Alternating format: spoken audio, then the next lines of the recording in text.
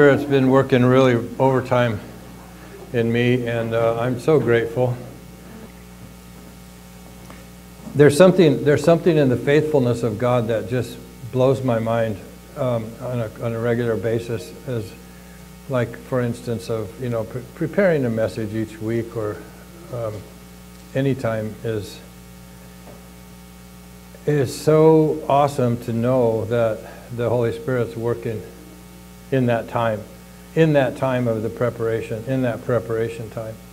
And then we, we get here and and he, and he starts to work again. And so sometimes there's little rabbit trails here and there that he takes us on, but you know, so far it's been pretty pretty straightforward, pretty organized. We've been talking, we talked about forgiveness a couple of weeks ago. I think that was an awesome uh, message. I want to, I'm going to revisit that eventually. Um, because there's just so much there. Um, we talked about hearing God and how to hear God. And today we are going to uh, talk about spiritual strongholds. How bad are they? How bad are they, these spiritual strongholds? Because when, when we read the Bible, you will at some point come across the word stronghold or strongholds, or in King James it's two words, stronghold. In every other version it's one word, strongholds. But when I hear the word stronghold, up in, you know, for most of my Christian life, the next things that come to mind are uh, biblically, when I think about them in the Bible, is that uh, is like breaking free or tearing down or deliverance or demolishing or overcoming, right? I mean, that's when you think about strongholds, you want to figure out what to do to break down these strongholds. Well, the, a stronghold is defined as a place that has been fortified so as to protect against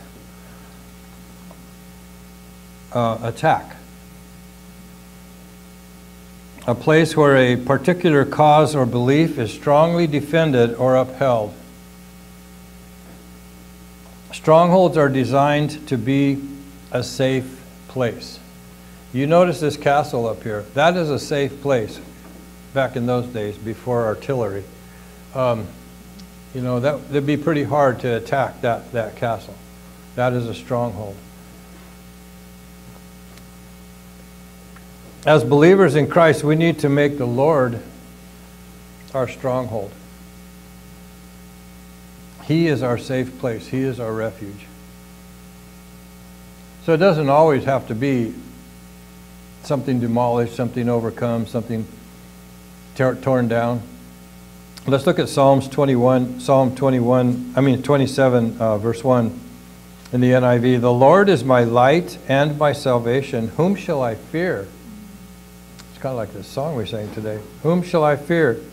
The Lord is the stronghold of my life. Of whom should I be afraid? And throughout the Old Testament, God speaks of, uh, speaks through the prophets about how he, he will, um, how, the, how he will uh, destroy enemy strongholds. And most of the time, they're places like this. They're, they're, they're, they're fortresses, they're, they're physical places. Uh, Amos uh, chapter 1, verse 7 But I will send a fire on the wall of Gaza, which shall devour the palaces thereof. And in verse 10 But I will send a fire on the wall of Tyrus, which shall devour the palaces thereof. And Amos 12 But I will send a fire upon Teman, which shall devour the palaces of Bozrah in Hosea 8:14 that for Israel hath forgotten his maker and buildeth temples and Judah hath multiplied fenced cities. But I will send a fire upon his cities and it shall devour the places thereof. While these places while these are references to uh, physical places they're really they can be seen as metaphors to spiritual things. The word strongholds is used metaphorically in the New Testament really only once and that's in 2 Corinthians uh, verse, uh, chapter 10, verses 3 through 5. Paul writes, For though we walk in the flesh, we do not war according to the flesh. For the weapons of our warfare are not carnal, but mighty in God for pulling down strongholds, casting down arguments and every high thing that exalts itself against the knowledge of God, bringing every thought into captivity to the obedience of Christ. This passage shows that shows us that spiritual strongholds are arguments. So what, what he does is here he uses strongholds as a metaphor in verse 4 for pulling down strongholds. And then he goes in verse 5 and tells you what those strongholds are. Those strongholds are arguments, um, like lofty opinions. That's a stronghold. And every high thing that is raised against the knowledge of God or held in esteem over God, above God. Those are strongholds. Because they, they rely on ourself. Strongholds rely on ourselves. They lead to pri- a prideful heart, um, unhealthy thought patterns. We're going to get into some thought stuff here in a minute. And habitual sins that we just can't seem to overcome. Anybody have a anything like that in their life ever? Oh yeah, one hand. Okay, two hands. All right. Oh, three, four, five. Okay. So, so it's a good. Me- this is going to be a good message. Um, it really is, because strongholds are only arguments, lofty opinions, and putting things, esteeming things above God. That's all they are. It's not that big a deal.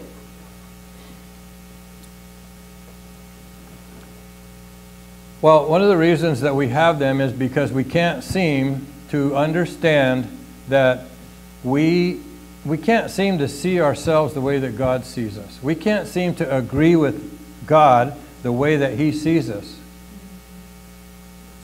That's right.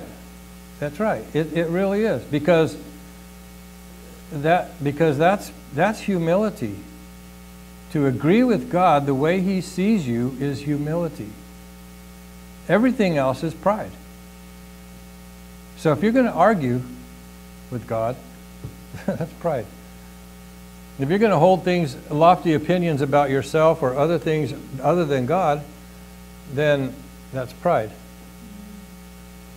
Um, anything that we that we trust in besides the Lord can become a spiritual stronghold can become a spiritual stronghold. And I, I'm, i say stronghold, I don't mean it's no big deal because it can be. It, it can get to be a, really serious stronghold that begins to, we've, we've seen it in ourselves and sometimes we've seen it in other people. But because strongholds are spiritual, the battle to fight them takes place uh, in the spiritual realm and needs to be fought with spiritual weapons. Ephesians 6 10 through 18 affirms all that. We're going to read some of those verses here, but it affirms that the weapons of our welfare are not carnal weapons, but spiritual ones that enable us to stand strong against the devil's schemes, or it calls them wiles. These are the weapons that God has provided for us. We're going to take a look at this. Ephesians, which is 14 through 18.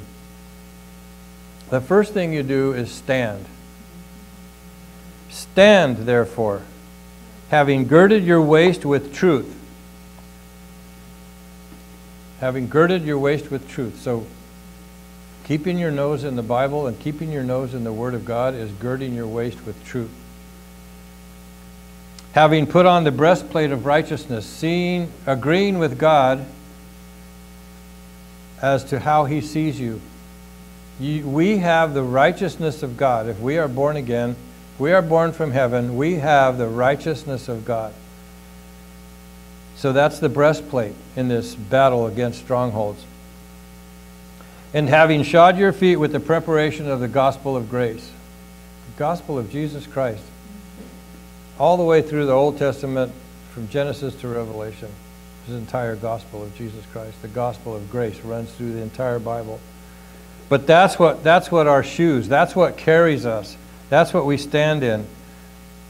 And above all, taking the shield of faith, and where does the faith come from? Where, where do we, where does faith, where do we get faith? What, how does it come? Faith comes by hearing, and hearing by the Word of God. Everything is based on the Word of God here.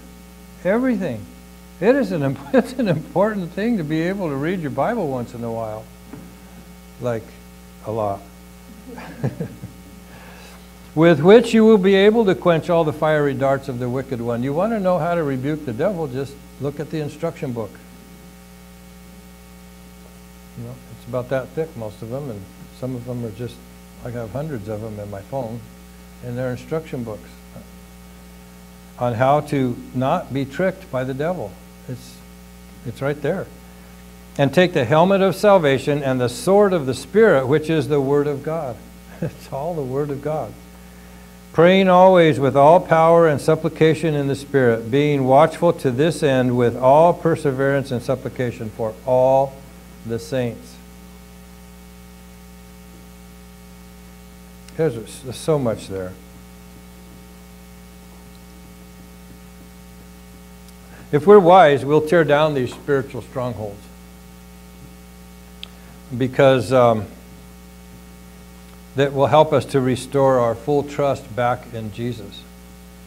Because if we're off into some spiritual stronghold, then means that part of our trust is gone. Part of our trust in Jesus is not there. Our trust is going to ourself or or something else or someone else. In Pro, uh, Proverbs uh, 21, verse 22 says, A wise man scales the city of the mighty and brings down the trusted stronghold. So if it is, if it is like, look like you have to climb this wall of a, of a city, if it looks like that to you, a wise person, it says here, will do it. And somewhere that trust has to come back because you know you're not going to be able to do it on your own. That trust has to come back. You just start the process of climbing that, that mighty wall of a mighty city, of that stronghold. Tearing down strongholds is not easy sometimes. It's, it's, it, it isn't. It's challenging. And when we begin to fight, we will most certainly experience resistance. You will definitely feel resistance. And there can be both carnal resistance and spiritual resistance or demonic resistance. But Christ's power enables us to um, be free from both of those things.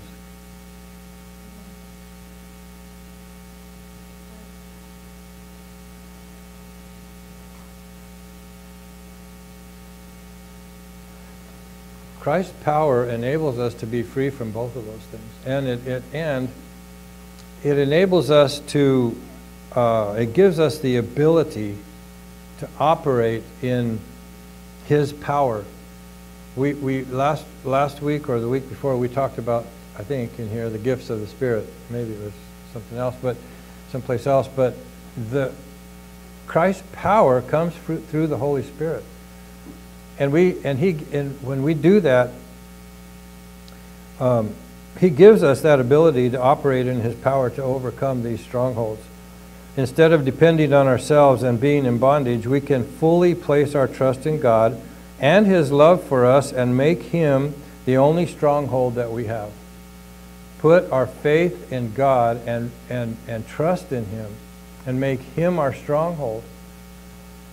Uh, Psalms 18.2 says, The Lord is my rock and my fortress and my deliverer, my God, my strength in whom I will trust, my shield and the horn of my salvation, my stronghold. Here's a new, here's a new perspective. I, I think this is a new perspective. It, it, is, it is for me, it has been for me. That even though we'll experience the resistance when we begin destroying spir uh, spiritual strongholds, we can really remain confident that um, when we're doing this, I want, I want you to get this really because it's really good. Um, so I don't want to mess it up. when, when we begin that process, we start that process of, of going against a stronghold. Um, and I'm talking about, you know, just a habit. You want to you want to break a habit? That's kind of a stronghold. A bad habit uh, is, is like a stronghold. It just it isn't necessarily a castle like that. It might just be a little place where you can hide, and you don't get attacked because you know that this habit is just you know it's just a habit, but it's causing problems. But we can know that. Um, when we when we begin that process and we actually start doing that and we start fighting that um, that stronghold and we start feeling the resistance against that habit against that stronghold that we are helping to build Christ's church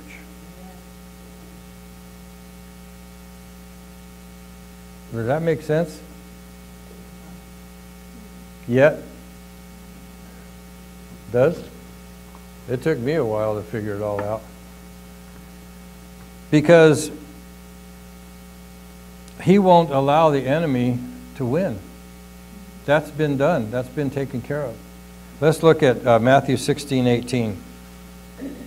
And I also say to you that you are Peter, and on this rock I will build my church, and the gates of Hades shall not prevail against it. the gates of Hades shall not prevail against my church. And when we are breaking habits and we are breaking strongholds with the help of Jesus Christ, not on our own, then we are furthering the cause of the church. And because God is not a respecter of persons. Let's go back to the previous two verses before, before 18, Matthew 16, 15, and 16. He said to them, But who do you say that I am? Simon Peter answered and said, You are the Christ, the Son of the living God. And Jesus answered and said to him, Blessed are you, Simon Barjona, for flesh and blood has not revealed this to you, but my Father who is in heaven. And then verse 18. And I also say to you that you are Peter, and upon this rock I will build my church, and the gates of Hades shall not prevail against it. We all born, everyone born again in here has the same revelation that Peter had. Even more so, I believe. We have the same revelation because God is not a respecter of persons. And he told Jesus, God told this to Peter. You didn't figure that out, Peter. You had a revelation from God. And upon that revelation am I building my church that Jesus Christ is the Son of God. And we all have that. So I think I believe you know let I'm going to change up the change up this verse a little bit. Uh, if you can put uh, 15 and 16 back up there, um, and I'm going to change the, the words a little bit. I know you're not supposed to do that in the Bible, but I'm going to do it anyway. He said to Grace and Faith Family Church, But who do you say that I am? Grace and Faith Family Church answered and said, Let's say it together. You are the Christ, the Son of the living God. And I also say to you, Grace and Faith Family Church, that you are the rock. And upon this rock I will build my church and the gates of Hades will not prevail against it. We have that revelation, and we have to keep it in our hearts and keep it in, keep it out front. Uh, because really, the war is over. Jesus has already won the war. We're just dealing with strongholds in our own personal life, and most of the time, a stronghold is right here, right between our ears. It's just in our heads. But Jesus has already won the war. Psalm 144, 1 and 2 uh, says, Blessed be the Lord, my rock, who train, trains my hands for war and my fingers for battle, my loving kindness and my fortress, my high tower and my deliverer, my shield, and the one in whom I take refuge, who subdues my people un- under me. So he's already taken care of it. And sometimes we decide that we really have to sweat this thing out. You know, we got to really, uh, I got to figure out what to do with this person or what to do with that. Or, you know, it's just, we continually, continually do that. And he's already won the war. He's given us the, the, the helmet of salvation and the, and the shield of faith and the breastplate of righteousness. All of those things are in us, and we just have to learn about that through the, through the Word so that it just comes out in those rivers of living water that are supposed to flow out of us, out of our spirit, into, our, into the, the natural and the, our soulish and the, and the natural realm.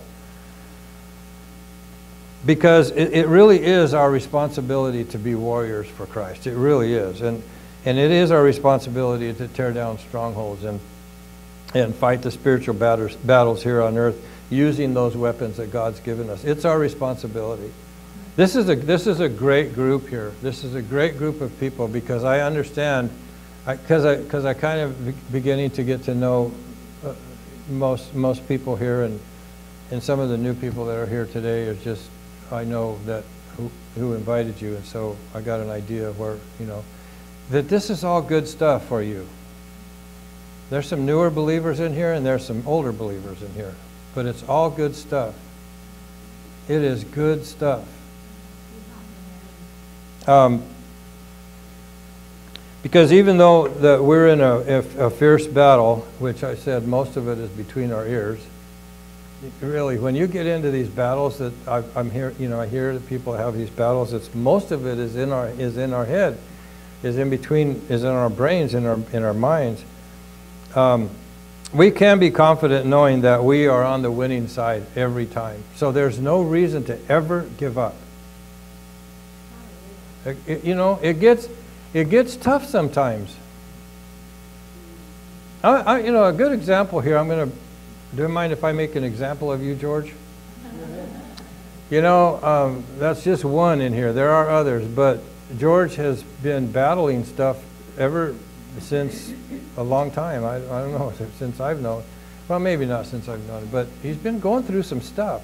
And he does not give up. There was a tendency at one point, probably, where he wanted to just give up. And it would have been easier to just say, you know what, I just want to go. I'm tired. He did not give up. He has got th things to do. God has a plan for him. And this goes for everybody here even if you're not going through any kind of major physical challenges and stuff like that, you're still going through some stuff. Don't give up because you're on the winning side. There's just, you don't have, you know, it's not, it's like watching a football game and knowing who the winner is. You just get in it and you just go because you know you're winning. You're going to win. But you just go. You keep going. Because the only way you'd lose is if you don't, is, is if you quit. And you still go to heaven, but you know, you're not taking too many people with you if you quit. So there are two very distinctive and very destructive and common strongholds, and we're going to talk about those now. Um,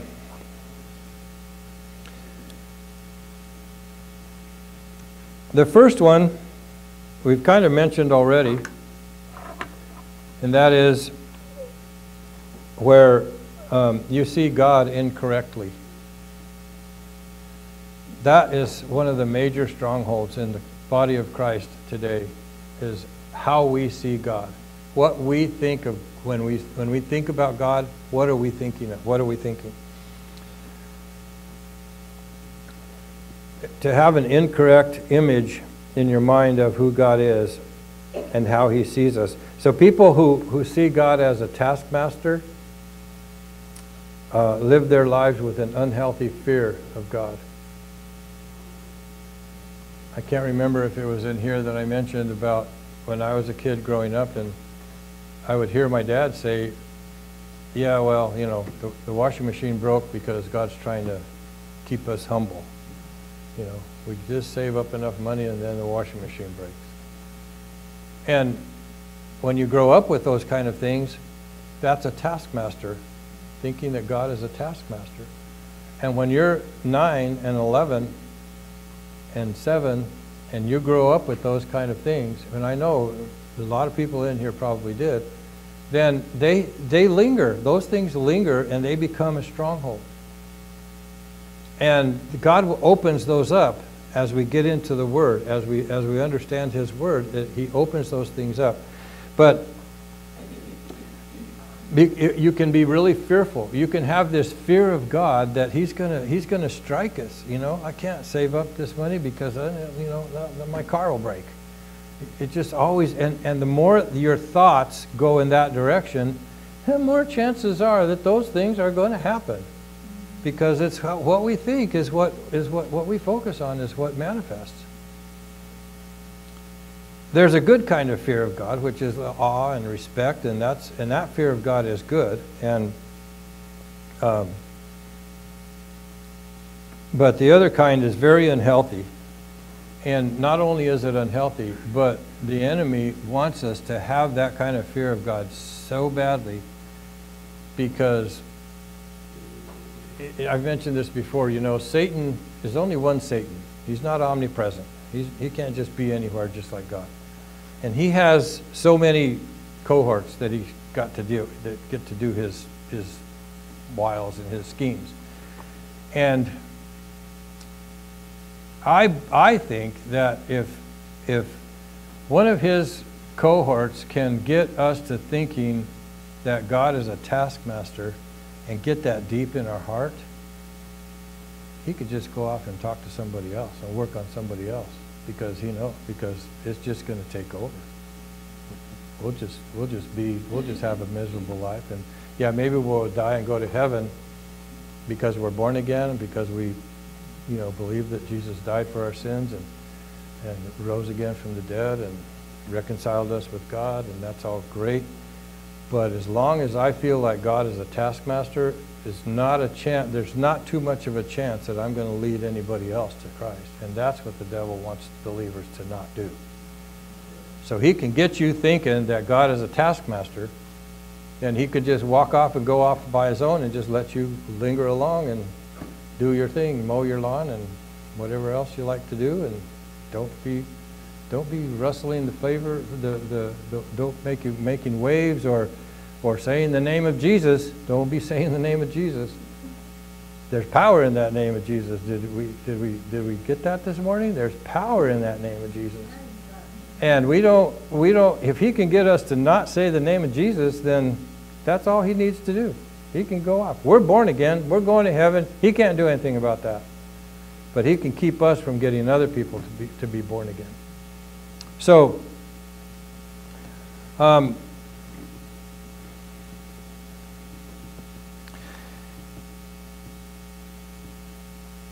People who are afraid the, they've committed an unpardonable sin are almost guaranteed to have a stronghold. And almost guaranteed that they will not be talking to anybody about Jesus. Even if they are born again or going to heaven, can almost guarantee. I've known people like that. One of them died. And I don't know, I don't know. I, don't, I really don't know if he was born again or not. But my heart has just always kind of been, I, and I just barely met the guy like one, one or two times. And, but it was, it, it, I know what that, I know what that is, where people are afraid they've committed a sin that is completely unforgivable. Of course, I don't know what it was, but it doesn't matter. The fact that, the fact that the, that, that can happen is, um, you know, it's just, it was beyond me. I, and I tried, I talked to him, and I was, it was way before Charis Bible College and all that, but Anyway, um, also people who find it hard to feel God's love and presence often have this same stronghold of God as a, as a taskmaster. These are kind of symptoms. So if you feel that God is distant and cold, or you question if God loves you, then it's time to get start tearing down the stronghold. And now we're going to talk a little bit about how to. But the second one, before we get there, the second one that is uh, uh, distinct and destructive and fairly common in the body of Christ is one where you see yourself inaccurately. And we've been working on that here, I believe. Um, people who suffer from this have a hard time seeing the new person that, that they are now in Christ really difficult time seeing that. They often suffer from low self-esteem, which there's a whole teaching right there. Uh, it, you know, we need to have Christ esteem, but low self-esteem is not good. Low self-esteem is very prideful. Um, they don't understand what Christ did for them and, and how it applies to their life. It's just, they it's just hard to it's just hard for people to understand that sometimes. The common symptoms of this stronghold are guilt feelings. People feel guilty, questioning if you've ever really been forgiven of your sins. Uh, low self-esteem, like I mentioned, they feel like sinners and not saints. They lack the spiritual confidence that we are supposed to have in Jesus Christ. The spiritual confidence that we are supposed to have in Jesus Christ. And they may still struggle with sin. And Jesus said that if you keep if you keep in his word, which tears down strongholds, you will be free from the power sin has over you. John 8, 31 and 34. I don't have that on the screen, but you might want to jot that down. John 8, 31 through 34. And then overall, the another symptom overall is that you don't feel worthy spiritually um, and lack the joy of the Lord in your life. Now, here's a great book for anybody who has any of those symptoms. It's called The Believer's Authority by Andrew Wommack. There's other Believer's Authority books, and they're, they're probably as good. I don't know, I haven't read those. But the Believer's Authority by Andrew Wommack is, is a good book to understand the authority that you have. Essentially, the spirit, soul, and body concept really needs to be foundational to that, though. If you can, if you can read or understand or take that course or whatever. Spirit, soul, and body is so foundational. It's difficult to understand a lot of these concepts unless you totally get that you are a spirit, you have a soul, and you live in a body and all of the things that go with that. It's hard to understand strongholds if you can't if you don't quite have that. If you still feel like you have a stronghold, like you're battling a stronghold after this message today, if you still feel like that, which many of you may, but uh, it might be time for a different strategy. And this is a strategy that we're trying to develop in this church. And um, that is, that we do not grit our teeth and redouble our efforts. That's not the strategy. It doesn't work. It just makes things worse. That's the way of the flesh. Our weapons are the ones that we've just talked about earlier. And so you might be saying, well, then, you know, I've tried all those things and haven't gotten the results that I'd like to see. Haven't seen any manifestation. That's the words that I hear a lot recently well, I've done this and I've done that, but I haven't seen any manifestation. Um, here's a new perspective, another new perspective. We've got two new perspectives today. Have you asked others to help you?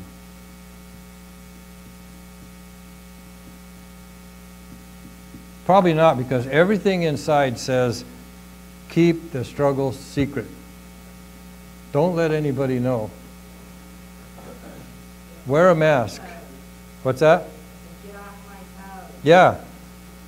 Hide the pain. Wear a mask. Don't, don't let anybody know. That's the nature of our human condition. But we're talking about the spiritual realm there. So I'm saying that God says just the opposite. And I, I use the message uh, version here in James 5.16. He says, Make this your common practice. Confess your sins to each other and pray for each other so that you can live together whole and healed. Amen?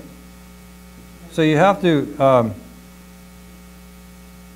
because, you know, Satan and those cohorts, they, they live in that dark realm where you're keeping all these secrets. That's dark in there, you know? And you're holding these secrets and this stuff, these strongholds down, and you're keeping them in the dark, and that's the realm that Satan and his buddies like to live in.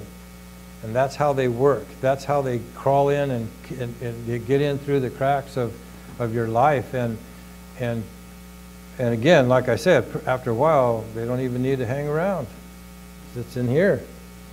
But, what's that? Yeah, yeah, it's attack and it's, it, it, it it needs to have warfare. But here's the thing God lives in the light and honesty. So we do need to bring those things up from that darkness and give them out to the light. Give them out to the light. Bring your problem out uh, of the darkness and into that light so that so that it can so and there's two things that happen there. Immediately. Five words. Immediately. or six. Um, they become weak. Right? You bring those secrets out of the dark and bring them into the light, they just start to get weaker and weaker and weaker because they're not being held down there along with all the other demons that are floating around down there. So I'm saying you find someone you trust and you start there. Really. This would be a great um, small group for some of you. And when I say small group, I'm talking just three, four, two, three, four people in your home once a week on a regularly scheduled time, whatever time works. Get together and just do a study on strongholds. Do a study on bringing stuff out of the darkness into the light. Check in with me if you want to do something like that. I'll give you some, some stuff to work with. Because it's important that we communicate to each other. Um,